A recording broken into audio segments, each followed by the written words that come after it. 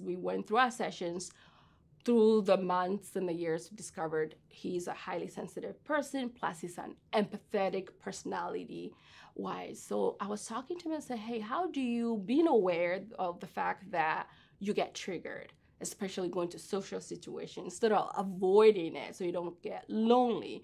Because loneliness is also becoming a pandemic in our country or worldwide truly um, I said, you might have to do pre and post preparation to make yourself go. Because the more you can go into situations that you can look as triggers, right?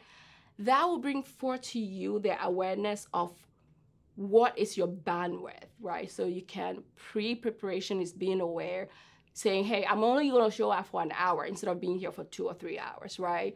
I'm gonna do post preparation, which can look like I'm gonna soothe myself right after that exposure.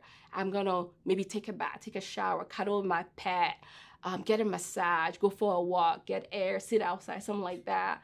Um, so you're not completely avoiding triggers,